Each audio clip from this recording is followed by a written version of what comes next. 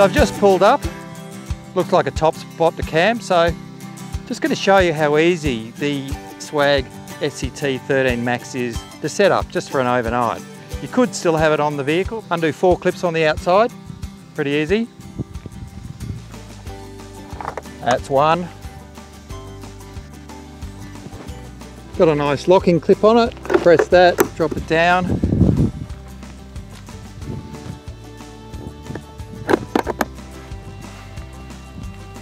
And this one, the last one, just use a, the uh, rock rail down here and the handle. Easy as. Now we'll go and open the door. Pull the step out and come inside in the van right now. I've cracked a couple of windows just to let some air in. That way you're not working against the vacuum effect as if you if it was all locked up it'd be a little harder. So bed's made up, perfect. I don't have to do anything about that. And as you can see, if you stopped on the side of the road, you can get in the van and move about and access things without having to pop the roof. But I'm going to show you how easy it is to pop the roof. So I'll just lie back on the bed. I'll push to the top. One hand to keep it going. And that's pretty good. Now go to the back. Easy as that. All set up for the night. So if you just pop the roof, next thing you might want to do after a long day's travel is use the loo. Don't normally film myself sitting on a toilet, but here we go. I can shut the door, normally I'd do that obviously. Also use the shower here if I've got muddy feet or something. Can clean myself off that way. And this is a loo with a view. I'm looking out over the lake right now. And just on my right hand side is a nice little basin. Got a skylight with a vent. Let's have a look at the rest of the van. I'm standing on the step just outside the doorway. On my left hand side is the control panel for all the electrics, the water and everything else. You're able to see that all in one place, including water level, how much you've got left in your batteries, and you can access all the circuit breakers and the switches all in one place. My right hand side is some storage. Storage for, for hanging shirts, that sort of thing. You could utilise it for other things. And just below, got another storage area here, and that's two areas for things like towels or anything you like, really. And over here, we've got three nice pull-out drawers with great catches to make sure they don't open on the move. Below and in front of me is a small sink. At night, want to brush your teeth, and uh, perfect, you don't have to go outside at all. So you're able to sit on the bed, but what if it's raining and you've got to be inside for some time and you'd like to sit at a table? Well, I've got a table just here with a bench seat and I can create space for, for two easily. Lift the mattress up, just push it straight over, lift the backrest up, and room for me and room for another person just there. Great. I can just move this table around, get my computer out,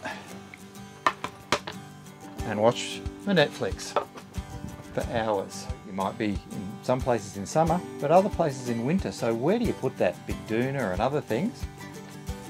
Right here. This is a really deep storage space which will easily house doonas, blankets, all your cold weather gear.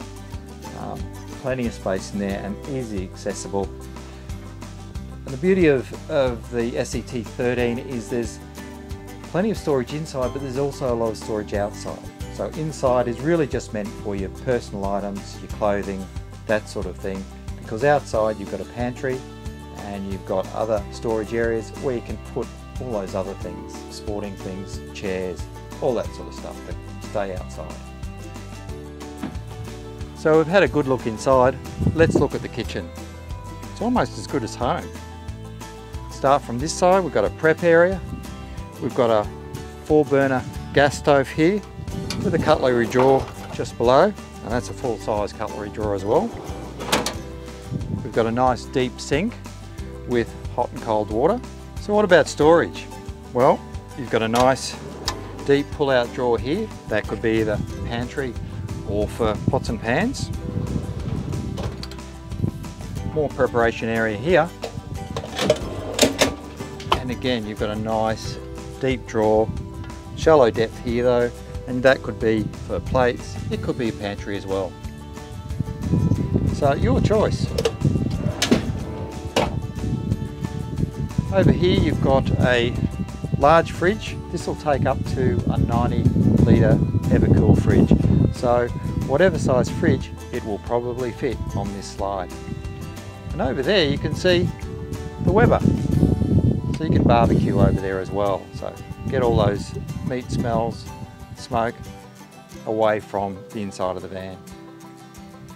Very nice kitchen, very big, plenty of prep area and uh, very easy to live with and, and cook a gourmet meal with. So invite me around next time. So overall, this kitchen is an L shape. You can have a 240 outlet here. We've got some 12 volt outlets there, which is great. But what it does, it allows you to walk between fridge, all the pantry and storage areas, to the stove, another prep area, all without bumping into anything. So you can have multiple people in this, this um, kitchen. Another nice thing about it is it's all undercover. The main area you'll be is just here. So that's undercover, you're not going to get wet. And just over here, there's a nice clear space. So you're able to put a table and chairs. So again, sitting undercover, whether that be shade or for the rain. You don't have to put fridges in or anything like that to go and sit and eat your meal. So it's, it's well designed, functional, well thought out, and it'd be a pleasure to use out in camping. So bottom line, if you're looking for a hybrid camper with a lot of Australian componentry and workmanship and also a, a Australia-wide warranty, this could be the, the one for you. It also comes in at a maximum two and a half tonne, so it's easily towable by your Prados and other vehicles. And it's easy. It's easy to set up, it's easy to live with, it's easy to tow. So what more could you want?